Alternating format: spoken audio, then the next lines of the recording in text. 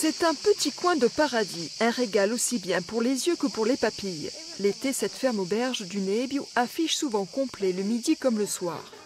Un succès basé sur le pari de Jérémy et de sa femme Pauline. Faire de l'agriculture biologique, c'était il y a une dizaine d'années. Quand j'ai dit que je m'engageais dans l'agriculture biologique, oh, tu es fou, qu'est-ce que tu vas faire? Fais du conventionnel, t'embête pas. On a ouvert au public en 2009-2010 ça commençait à être ancré. Les gens commençaient à s'intéresser, à faire attention à ce qu'ils mangeaient, à parler de saisonnalité, à parler d'autonomie alimentaire, de vente directe, de travail euh, avec les agriculteurs, d'AMAP, ce genre de choses. Donc ça, ça s'est structuré et on en voit le résultat. Et pour en revenir aussi à ce que je disais, euh, la Corse, c'est la bonne élève de l'agriculture biologique en ce moment. Au total, 13 000 hectares en bio pour notre île. Chez Jérémy et Pauline, le luxe réside dans la proximité.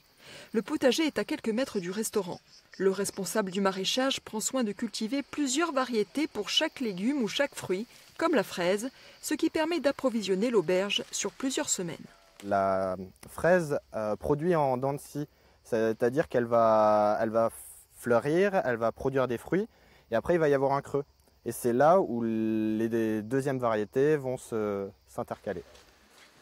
Une partie de cette production est vendue dans les magasins spécialisés en produits biologiques, l'autre est commercialisée sur place à l'auberge. Ça c'est des concombres, euh, alors on n'en a pas énormément mais voilà, ça varie de 50 centimes à, 1,20€ euh, selon la taille. Mais les clients ne sont pas les seuls à faire leur marché. Avec des étals à portée de main, le chef cuisinier reste prioritaire sur le choix des légumes.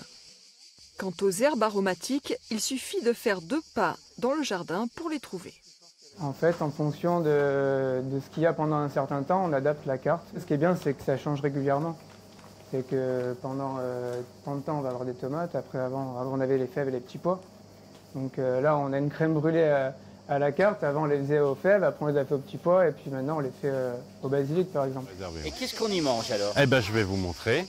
Aujourd'hui, au menu, des nems aux gambas, un royal de courgettes à la menthe, des plats qui ont de quoi satisfaire les végétariens et les clients les plus carnassiers. En une dizaine d'années, cette table maraîchère s'est forgée une solide réputation. Mais ici, on sert 50 couverts par jour, pas plus, histoire de ne pas vendre son âme.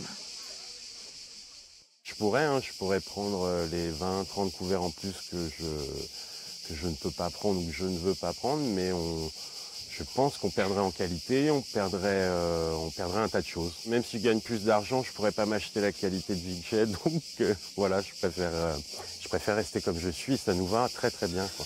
Ce principe de ferme auberge donne une plus-value à la production maraîchère, des emplois ont même été créés.